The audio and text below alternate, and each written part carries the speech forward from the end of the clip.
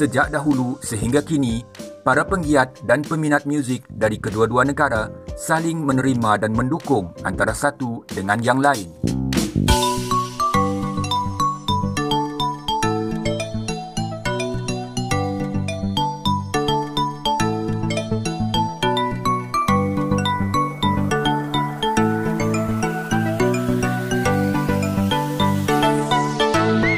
Assalamualaikum warahmatullahi wabarakatuh. Welcome back to my YouTube channel Lebas Studio. Bagi anda yang first time di channel ini Saya ucapkan selamat datang Selamat bergabung di channel ini. Dan bagi anda yang telah pun subscribe dalam channel ini Saya ucapkan ribuan terima kasih. Salam persahabatan Salam perdamaian Salam serumpun Daripada Lebas Studio kepada anda yang tengah menonton video di dalam channel ini.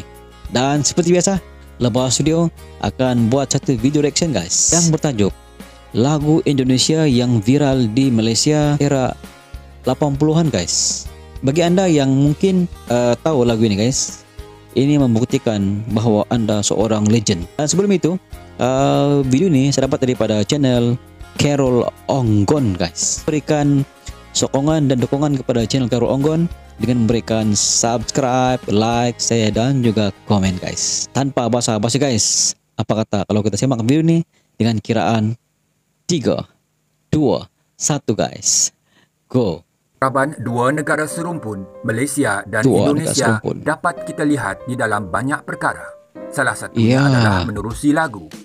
Sejak dahulu Alright. sehingga kini, para penggiat dan peminat muzik dari kedua-dua negara saling menerima dan mendukung antara satu dengan yang lain. Wow. Carol on God. Untuk Kawan video kali ini, kita akan memfokuskan daftar lagu-lagu Indonesia yang 10. popular di Malaysia oh, 10 lagu pada era Indonesia paling popular di Malaysia era 80-an. Tanpa wow. berlengah, mari kita Siapa lihat yang tahu ni dia legend guys. Hati Lebur Jadi okay. Debu Jamal Mirdad Yang 10 Jamal Mirdad Hati Lebur Jadi Debu Lagu ciptaan Erianto ini dimuatkan di dalam album Jamal Mirdad dengan judul yang sama. Lagu ini juga turut dinyanyikan oleh seorang lagi artis tersohor Indonesia, Hetty Kos Endang menerusi albumnya yang dirilis pada 1982. Apa oh, yang ku okay, cari? Okay, yang. Endang Estarina 1983. Endang Estarina. Apa yang kau cari? 83. 93. Okay. Lagu inilah yang hmm. mula memperkenalkan nama Endang Estaurina kepada peminat muzik di Malaysia. Walaupun ia bukanlah dari album sulungnya. Lagu ini juga merupakan hasil karya Erianto.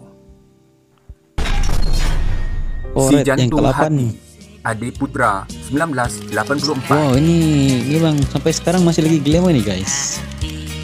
Adi Putra. Pada tahun 1984, lagu Si Jantung Hati nyanyian Adi Putra ini menjadi salah satu lagu yang amat popular di seluruh negara. Malah, populariti ya, lagu ciptaan komposer Heritus okay. ini turut menyebar hingga ke negara Thailand. Oh, Thailand. Padu. Surga dan Neraka. Heti Kos Endang 1985. Kos Endang.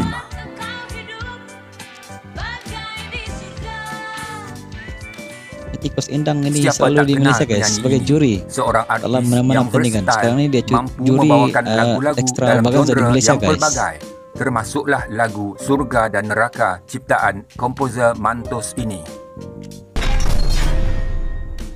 Madu dan Racun Bill and wow. Rod 1985 ini lagi lagu banyak sudah variasinya guys. Ini memang luar biasa lagu hasil karya Ari Wibowo ini dikatakan berasal daripada sebuah lagu berjudul Bingung yang pernah dirilis pada tahun 1975. Oh, pada daripada 1985, lagu Bingung. ianya telah ditukar menjadi lagu Madu dan Racun dan telah mengangkat oh, nama oh. kumpulan Bill Asalnya and Rod di persada muzik ketiga itu. Dia ubah pergi Madu dan Racun. Okey, itu storynya. Singkong dan Keju Bill and Broad 1986. Oh, masih lagi yang sama.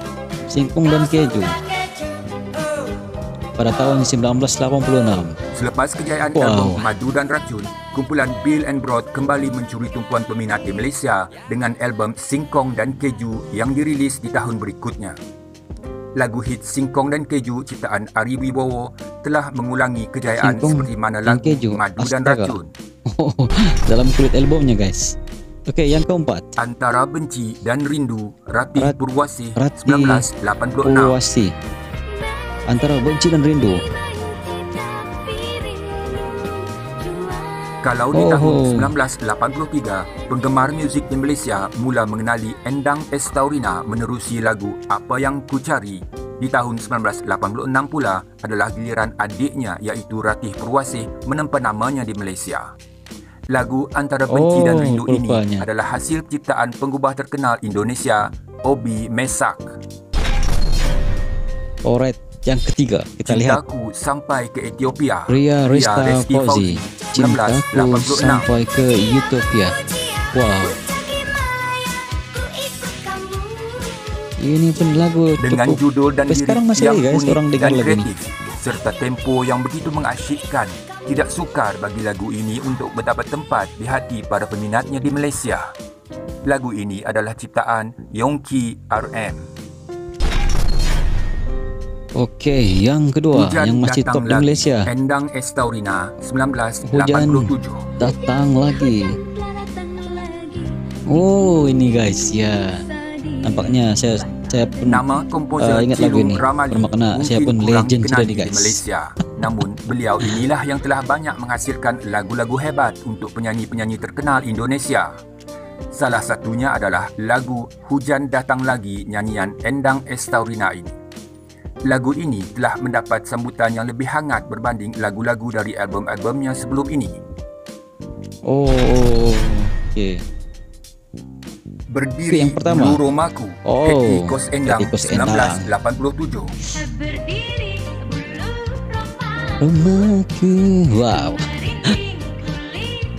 Sebenarnya ada banyak lagi lagu-lagu hit dari penyanyi Hetty Koes Endang yang terkenal di Malaysia. Tetapi lagu Berdiri Bulu Romaku ciptaan Beni Ashar ini merupakan antara lagu yang paling diingati Alright, guys. oleh para peminat di Ini Malaysia. adalah antara 10 lagu yang pernah hit di Malaysia. Itulah pada antara 80-an. lagu-lagu daripada artis-artis Indonesia yang popular di Malaysia pada era 1980-an. Ada beberapa lagi yang tidak dimasukkan di dalam senarai kerana terbatasnya ruang dan masa. Daripada senarai ini, apakah ada di antaranya yang pernah anda minati atau menjadi lagu kegemaran ya, orang tua mungkin anda? ada yang anda minati Atau guys. Saya mungkin pun ada lagu-lagu lain yang Semua menjadi pilihan. minat guys. Anda Ye. sangat dialu-alukan untuk Memang menyatakannya di dalam lagunya. ruangan komentar. Sekian sehingga kita berjumpa lagi. Jangan lupa like, subscribe dan share video ini. Terima Ya. kasih kerana menonton.